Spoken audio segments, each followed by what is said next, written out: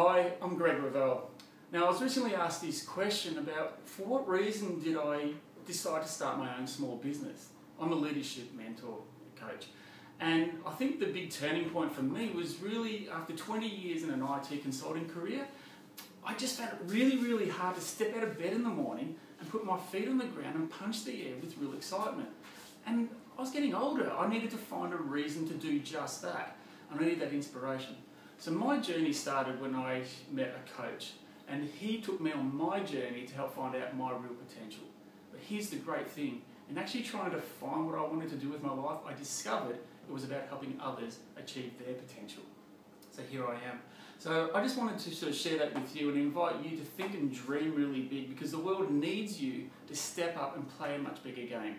The world isn't served by people staying small. So hey, join me. Let's think big and let's reach for the stars.